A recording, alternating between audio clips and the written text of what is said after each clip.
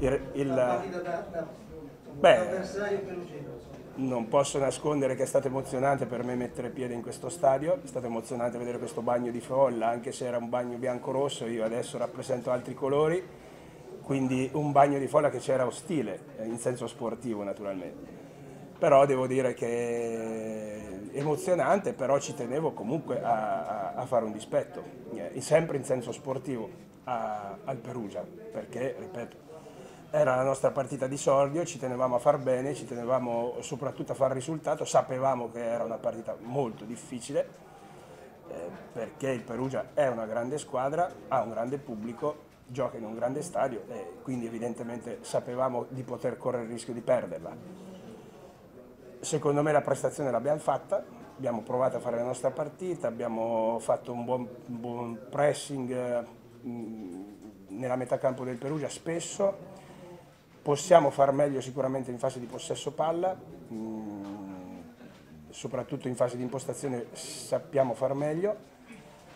però abbiamo avuto delle reazioni importanti anche dopo i gol subiti, la squadra è sempre stata viva, è sempre stata in partita, ha avuto qualche buona situazione, non ne abbiamo concesse tantissime al Perugia ed è un merito perché il Perugia è un attacco importante, però abbiamo commesso delle gravissime ingenuità gravissime ingenuità che hanno determinato il risultato, soprattutto quella del primo tempo, perché non, non puoi prendere gol a due minuti eh, dal riposo, quello è stato, ha condizionato un po' anche il nostro secondo tempo, non puoi perdere una palla così sanguinosa in uscita e soprattutto non si possono prendere gol eh, su palla inattiva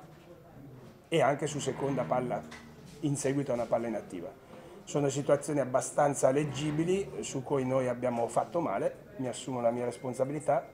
e dovremo crescere velocemente perché poi queste partite spesso si risolvono in questo modo.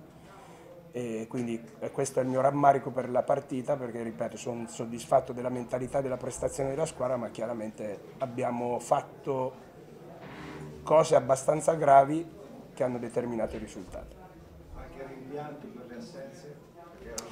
Io non, sì, le assenze erano tante, ma io non guardo mai a, a chi non c'è. Noi avevamo comunque 20 giocatori in organico, avevamo 11 ottimi giocatori in campo, avevamo 8 ricambi in panchina all'altezza e quindi non guardo mai a quello che può essere e quello che non può essere. La partita l'avevamo preparata, l'abbiamo giocata con determinazione, con impegno e dovevamo fare qualcosa meglio su determinate situazioni perché sappiamo che in questa categoria eh, non ti perdonano, come in effetti è, è successo.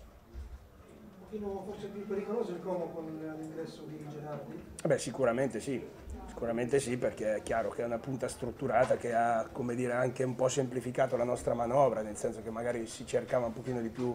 la profondità, la palla addosso, mentre nel primo tempo dovevamo lavorarla, che è un po' la nostra caratteristica, ma dovevamo lavorare l'azione, portare diversi giocatori fuori, passare attraverso le noci che poi trova la palla di prima o l'imbucata. Quindi un'azione sicuramente più elaborata, mentre nel secondo tempo con l'avvento di Gerardi è un po' più semplificata. Ma questo lo sappiamo, eh, abbiamo voluto questa varietà di attaccanti proprio per avere soluzioni diverse, in base alle gare e in base all'avversario che andiamo a affrontare. Mister, l'esordio dei nuovi sono piaciuti, parlo eh, Jakimowski, ovviamente Bagua e allora, eh, partiamo da Jakimowski. Jakimowski ha fatto un allenamento e mezzo con la squadra di fatto e quindi non posso che, eh, che essere soddisfatto della sua prestazione perché ha garantito eh, comunque spinta, corsa sulla fascia, anche fisicità è chiaro che non potrà mai essere giudicabile eh, sotto l'aspetto della condizione oggi per, e neanche sotto l'aspetto tattico, perché evidentemente, ripeto, abbiamo fatto due robine A, B e ci siamo fermati lì.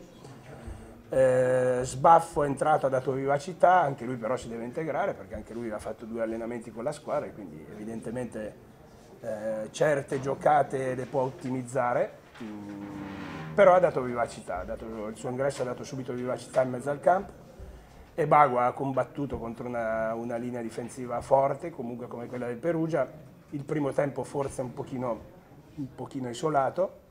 il secondo tempo con, con, vicino Gerardi che ha più fisicità certamente ha trovato eh, anche più giocate, più spazi, anche perché non dimentichiamo che Bagua sa fare sia la prima che la seconda punta, ma direi che sa fare soprattutto bene la seconda punta just that.